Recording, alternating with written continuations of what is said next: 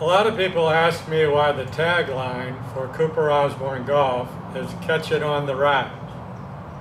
Well, recent 3D analysis of good golf swings shows that the hands and arms on the downswing reach their lowest point somewhere in front of the right leg, while the club head is still fairly far away from the ball.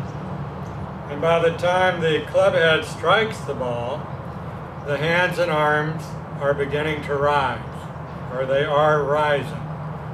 So a good golfer literally catches the ball with his golf club as his arms are rising.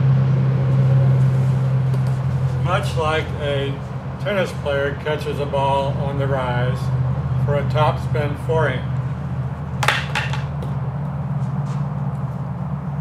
Now, some of your greatest ball strikers of all time and of current time do not take very deep divots.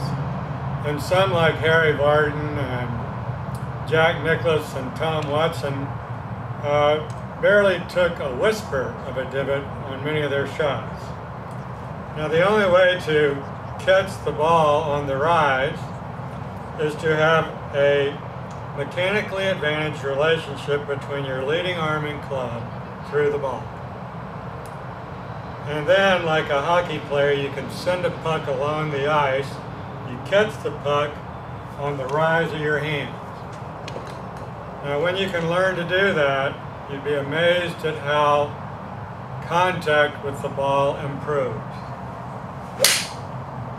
And the, even though the hands are beginning to move upward. The club is still going a little downwards or level to the ground through the ball. So learn to